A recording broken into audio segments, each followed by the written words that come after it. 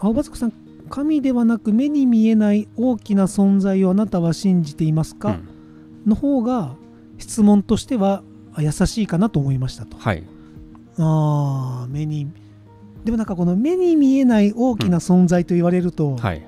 なんて言うんでしょう。もやっとしすぎる感じはね。なんかねそう。あ何答えていいか分かんなくなる、なんかねそう。なんかうん。ちょっと神とははい。なんか違う気がしません？なんか。うん、まあ神っていうと、はい。普通に、まあ、宗教的な神を思い浮かべるじゃないですか。そうそうそうそう。でそこから多分そうじゃないなっていうところでこっちについてる、はい、で今のこのうん。青葉族さんが言うこのはい。目に見えない大きな存在だと、うん、この自然とかもそうじゃないですか。はいはいまあなんかね、はい。そうおっしゃってることは分かるんですけど、うん、難しいですね。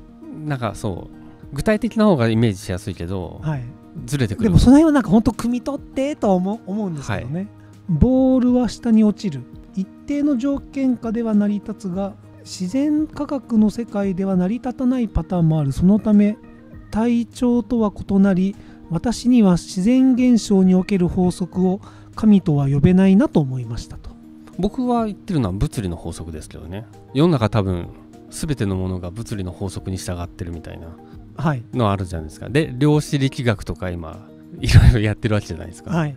でそれが一番神に近いんじゃないかなって感覚です。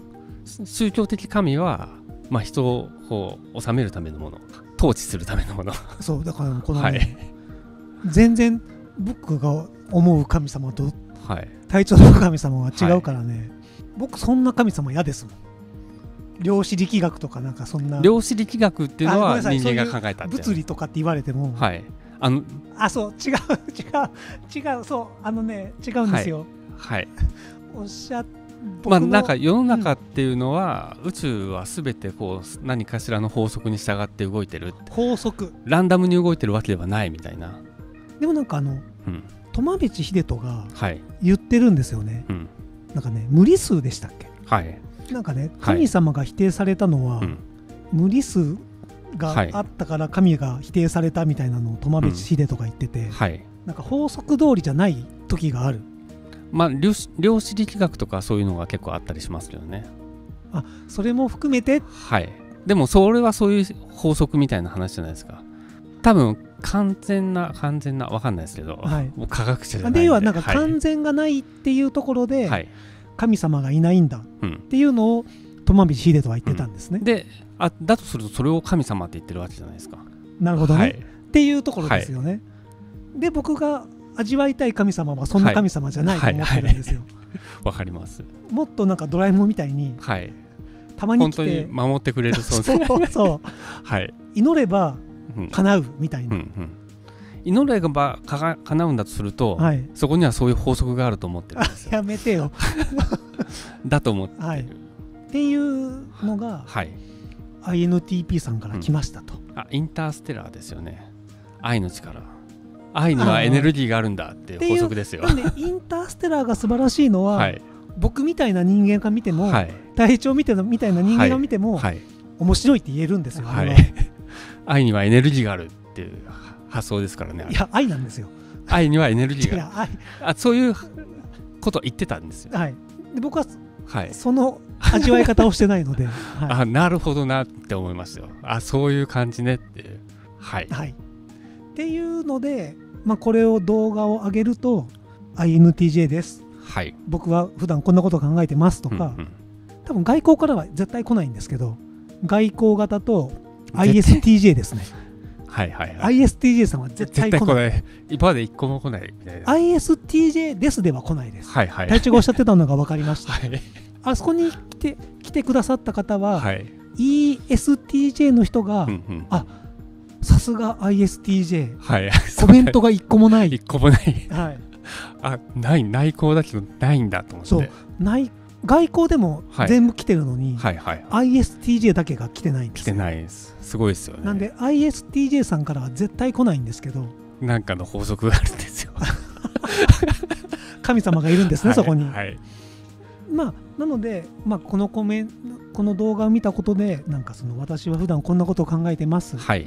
このタイプですっていうのをくれると、なんか面白いなと思って。はい。体調はなんかだから僕は普段何考えてます？って聞かれると、はいはいはい。なんか普段こんなこと考えてますよって言えるんですけど、隊長はなんかこういうテーマがあった方が面白い僕多分普段何考えてますって言われて何も出てこないそう何も出てこないんですよ、はい。いやまあ大したこと考えてないそう言って帰ってくるんですよ。はい。で違う違う僕が話したいのはそんなことじゃないになるんですよ、でこれについてみたいなのがあるとあそれはこういうふうに考えてたよみたいなっていう感じなんですよね。生かし方なので、はいはい二等兵さんの引き寄せの理論もその神性の法則を利用してるんじゃないだろうか。思念と潜在意識の法則というか。うん。っていうことも考えてないって感じです。僕はこう結構考えますけどね。そう。なんでね僕この人が面白いなと思ったのは、こういう理論野郎なのにはい。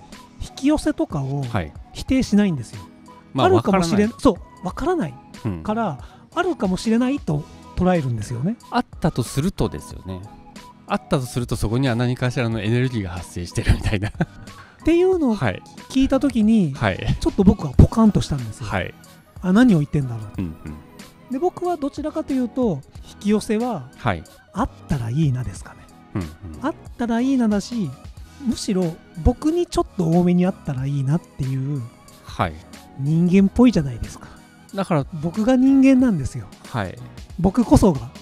だから僕引き寄せは思いの力だって思う。思いには力がある。愛には力があると一緒ですよ。でも多分僕の味わい方と違いますもんね、違うはい。だから思いが強いほど叶うみたいな。あやるからでしょうねそれは。そう。行動なんでしょうねそれは。行動。行動に思いが強ければ行動に移るじゃないですか。っていうことは僕は聞きたくなかったんですけど、ははいいっていうなんか皆様の頭の中のなんかまあ引き寄せっていうとでもまあ引き寄せっていう言葉もあるからな。また違うんでしょうね。神と引き寄せって。どういうことですか？いや神様っていう言葉は良くないんじゃない？で、はいはい。青葉塚さんが大きな力。ううん。ん、引き寄せ。うんうんも多分違いますよね。神。神。のとは違いますよね。ああじゃあやめましょうかやっぱり。あまあ人によるって感じなんですか？引き寄せって言った時に僕は多分あるとすれば思いの力だみたいな。そこには何かしらのエネルギー。神とはイコールではないまたイコールではない。ちょっとニュアンスが違う。自分のエネルギーですよね。ニュアンスは違う感じですか？全然違います。あじゃあやめましょうやめましょう。僕がしたいのははい。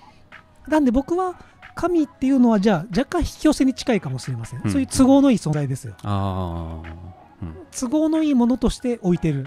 うんうんしてもいいかもしれないです、うんうんうん。ただ先ほどのこの INTP の、はい、えー、とスーモさんは神様っていうのはこういう理論でうん。必要だと考える。うん。しか多分ないんですよ、うん。そういう法則だ、はいはい。はい、もっとなんか S っぽいくないですか？あっていうのもあるかもしれない。はい。はい、っていうのも考え面白いですねと思ってます、はい、でまあまたこういう動画を見てくださった方はあの右の方はおっしゃっていることが分かりますっていうコメントが来るんだろうなと思ってるんです、はい。どうせ僕のことなんて誰も分かってくれんのですよ。そんなことはないバカだと思われるんですよ。そんなことはないでもいいんですよ別に多分あの複雑なんですもん。頭の中が